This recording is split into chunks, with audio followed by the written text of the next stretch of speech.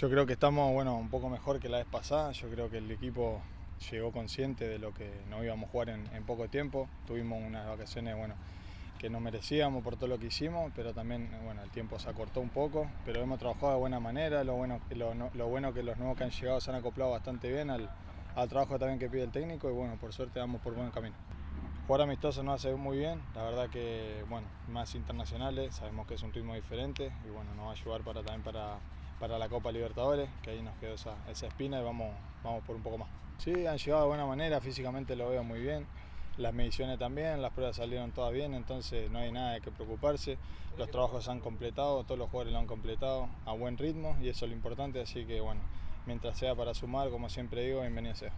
Sí, más que nada los primeros días tuvieron bueno, bastante, bastante fuerte, eh, bueno, lo, pudimos sacar adelante, yo creo que, como te digo, todos los jugadores terminaron los trabajos, que eso es importante porque a veces no se entrena solamente lo físico, sino lo mental, entonces vamos por buen camino.